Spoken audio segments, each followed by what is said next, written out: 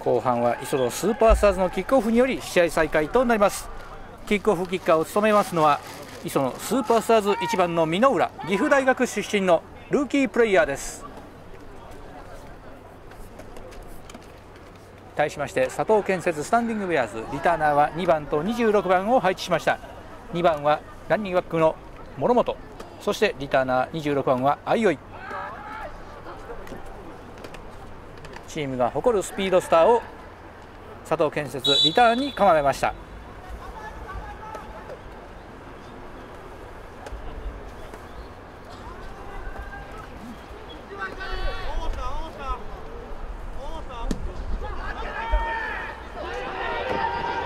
さあ佐藤建設リターンに入ります。さあ左オープン展開する。リターナー26番。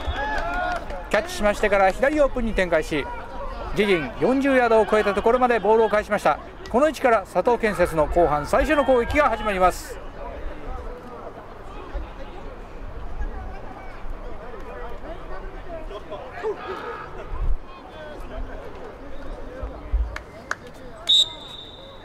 佐藤建設自陣41ヤードからファーストダウン10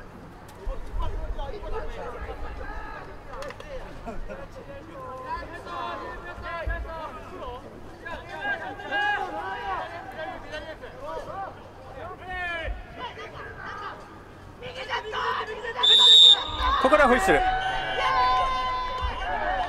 イエローフラッグ反則が発生しています。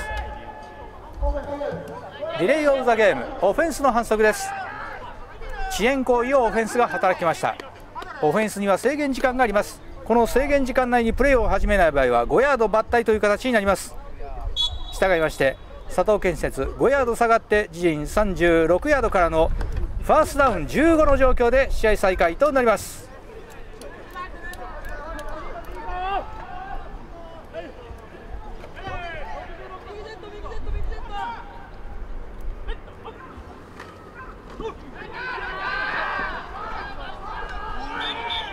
さあランプレーによる突破を図りました。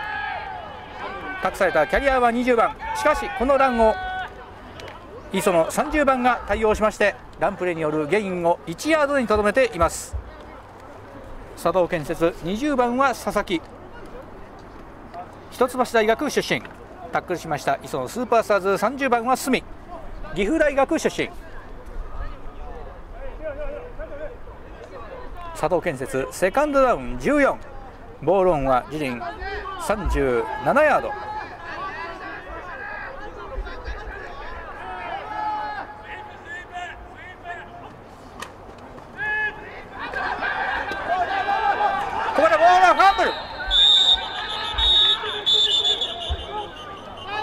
さあこれをどちらのチームが抑えたでしょうか。磯野が抑えました。ターンオーバー。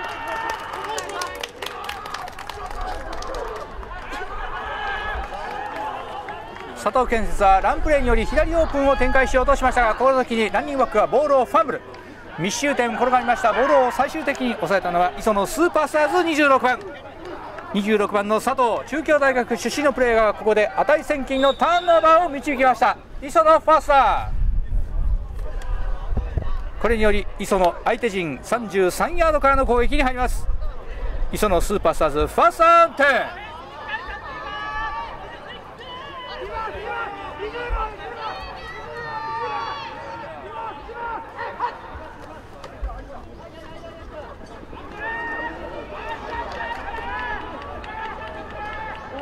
ここでボールファンブルターンオーバーここでそバック25番をバイトレシーバーに配置してのモーションからのジェットモーションスイープ。25番が左オープン展開しましたがここでタックルを受けてボールをファンブル。これを佐藤建設が抑えて佐藤建設がボールを奪いました。これにより攻守交代です。佐藤建設ファースター。双方お互いのディフェンスのビッグプレーにより非常に展開が激しい状況になってまいりました。佐藤健です。再び攻撃権取り返しましてボールオンは自陣9ヤードながらファーストダウンの状況に入ります。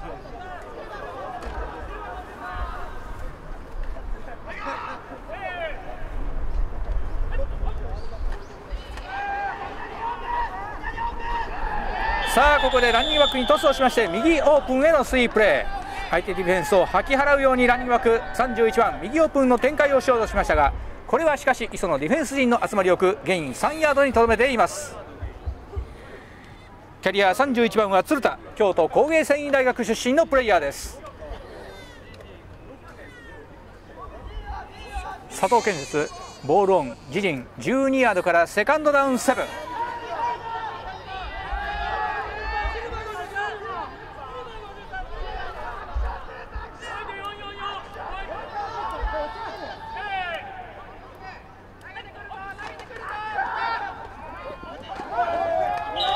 成功。クォーターバック15番非常に速いタイミングでワイドレシーバー1番にパス。1番ボールをジャッグルしながらこれをキャッチしまして約6ヤードのゲイン。パスを取りました。ワイドレシーバー1番は沖西岡山大学出身。クォーターバック川村とともに岡山大学のコンビネーションがここでまず機能しました。佐藤建設サードダウン残り1ヤード。ボールオンは自陣11ヤード。失礼18ヤードです。磯野ナイスディフェンス。ここで佐藤建設は中央突破のランプレーを敢行しようとしましたがこれを磯野スーパースターズ76番が対応しまして約3ヤードロス。磯野スーパースターズ76番は西脇岐阜大学出身。チームのバイスキャプテンです。佐藤建設フォースダウン4パントフォーメーションを選択します。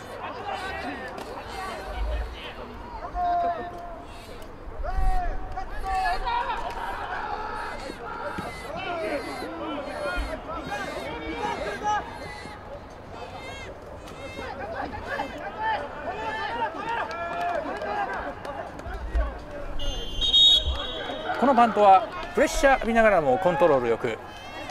磯野陣30ヤード付近でボールデッドとなりました。この位置での攻守交代となります。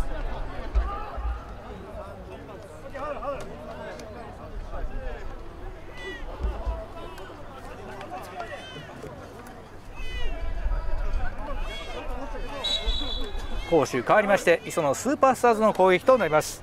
ボールオン自陣33ヤードから磯野スーパースターズファーストダウンテン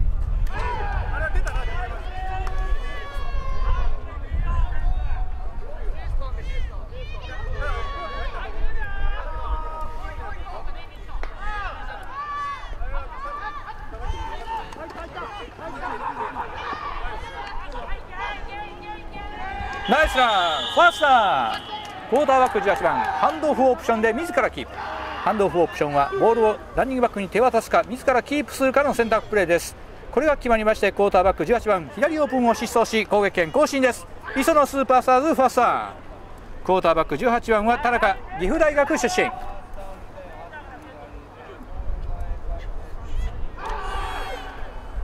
磯野スーパースターズ自陣48ヤードからファーストダウンテ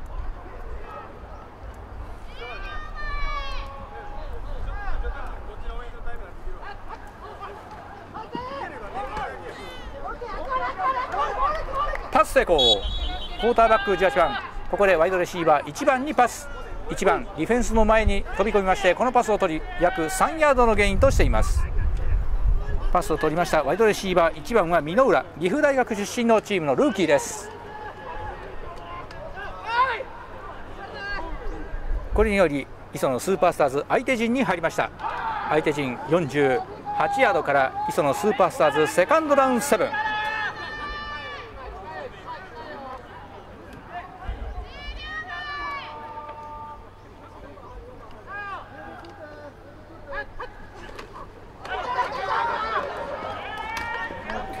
中央へのプファースターランニバック35番。ハンドフを託されディフェンオフェンスラインの隙間を縫って一気に中央突破。攻撃権更新です。磯野スーパースターズファースターランニバック35番は東。京都工芸繊維大学出身。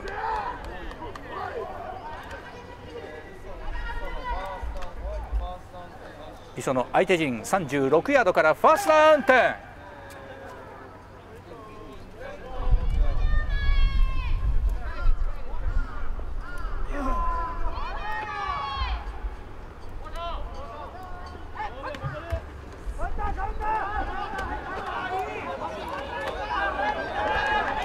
抜けます。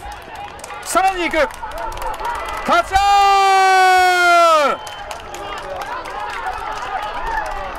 ここで磯野はセットバックからのカウンタープレー。託されました。25番中央突破しそして相手ディフェンスの裏をつくように隙間を縫ってそのままエンドゾーンを駆け上がってタッチダ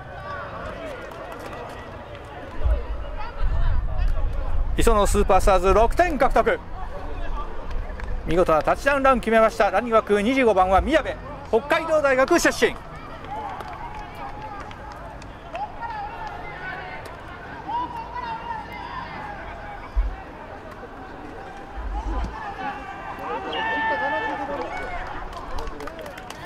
キック成功1点追加。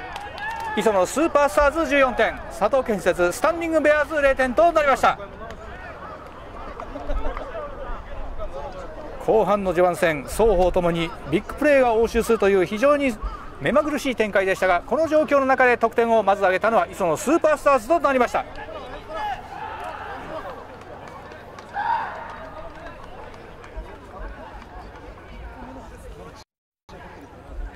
さあその差2タッチダウンとなりまして試合再開となります。磯野スーパースターズのキックオフ。キッカーは1番の箕浦さあ佐藤建設は反撃となるでしょうか。そのリターンに注目しましょう。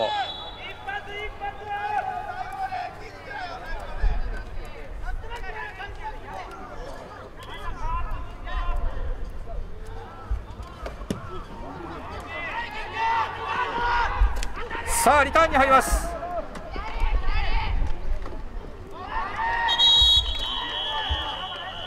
リターナー2番右オープンを展開。自陣35ヤード付近でボールデッドとなりこの位置からの佐藤建設の攻撃となります。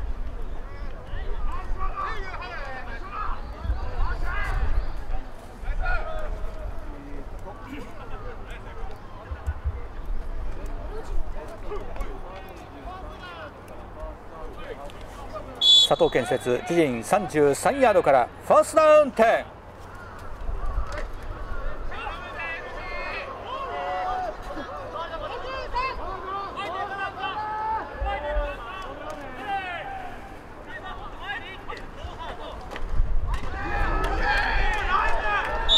ナイスディフェンス。佐藤建設ランニ枠20番の中央突破を展開しようとしましたがこれを磯野スーパースターズ71番76番が猛追。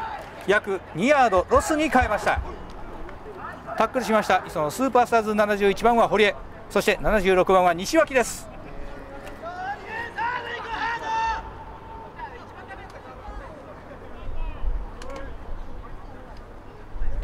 佐藤建設2ヤード下がりましてセカンドダウン12ボールオンは自陣31ヤード。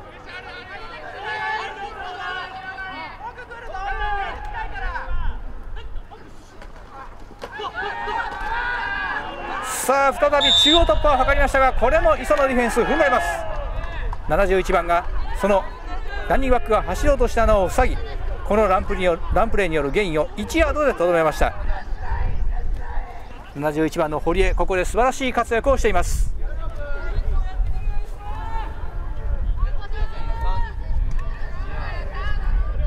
さあ佐藤建設サードダウン残り11ヤード。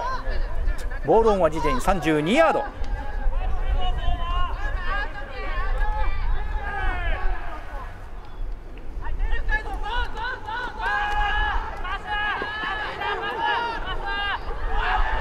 パス不成功。ここでクォーターバック15番ロングパス。ターゲット1番へのレシーバーとの競り合いによるキャッチ力を問われるパスプレーに転じました。1番これは手に触れることができましたがしかしディフェンスのカバーありパス不成功に終わっています。パス失敗により佐藤建設フォースダウンとなります。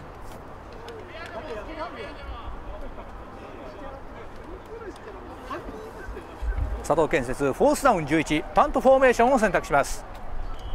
パンターは20番の佐々木。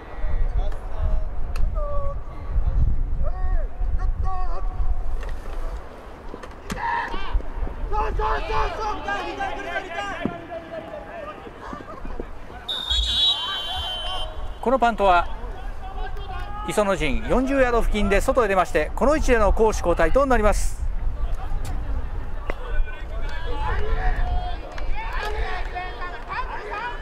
パントはキックオフと違いボールが外へ出ても構いません。しかし出た地点での攻守交代となります。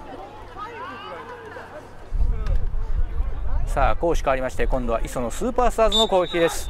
ボールオン自陣41ヤードから磯野スーパースターズファーストダウン10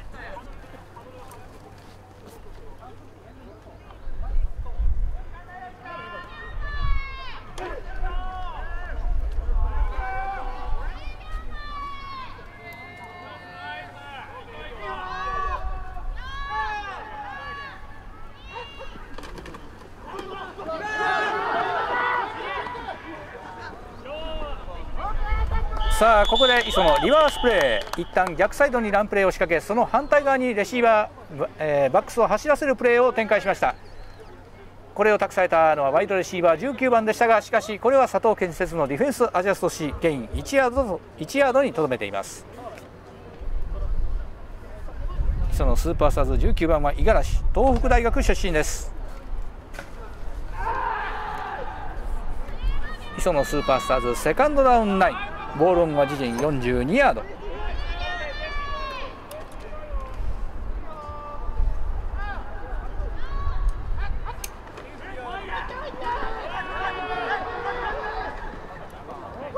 さあクォーターバック15番ハンドオフオプションで左オープンの展開を図りましたがこれは佐藤建設7番が対応しまして約4ヤードのゲインでとどめています。佐藤建設7番は広常。クォーターバック18番は田中。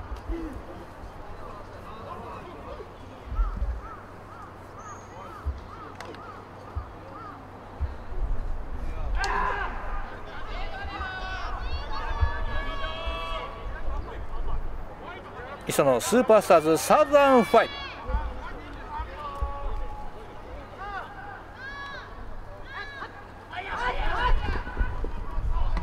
パス成功ファースタークォーターバック18番。ここでパスプレー。ワイドレシーバー84番にパスを通しまして攻撃権更新としました。磯野スーパースターズファースター。投じたクォーターバック18番は田中。取りました。ワイドレシーバー84番は花木。いずれも岐阜大学のコンビネーションです。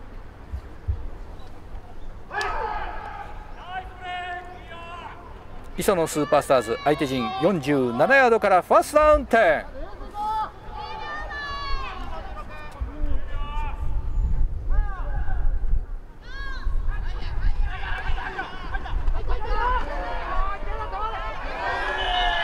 ランニワック25番。セットバッカーのハンドオフを受け右オフタックル付近をつきました。相手タックル受けながらセカンドへ放投で約5ヤードのゲインに変えています。